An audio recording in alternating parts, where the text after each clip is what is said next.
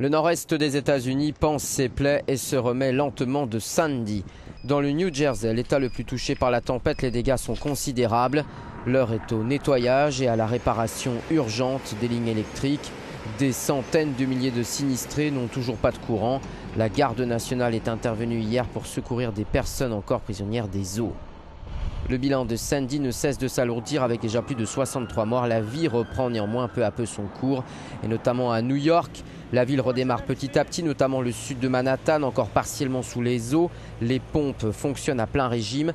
L'aéroport de LaGuardia rouvre ce jeudi, ainsi qu'une partie du métro avec un service limité.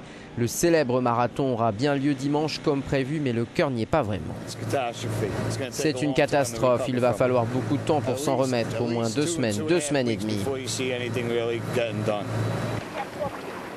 Dans le quartier de Breezy Point, zone rasée par la tempête, c'est une ambiance d'après-guerre qui règne. Chacun tente de retrouver quelque chose et parfois, au milieu de ce cauchemar, une petite lueur apparaît. Quel a été le dernier? Irène, nous avions tout pris et tout quitté. Cette fois, je n'ai pas tout emmené comme je le fais habituellement et c'est pourquoi j'ai tout perdu. Mais j'ai trouvé des photos de mon petit-fils. Je l'ai perdu l'année dernière, donc tout ça, ce n'est rien finalement.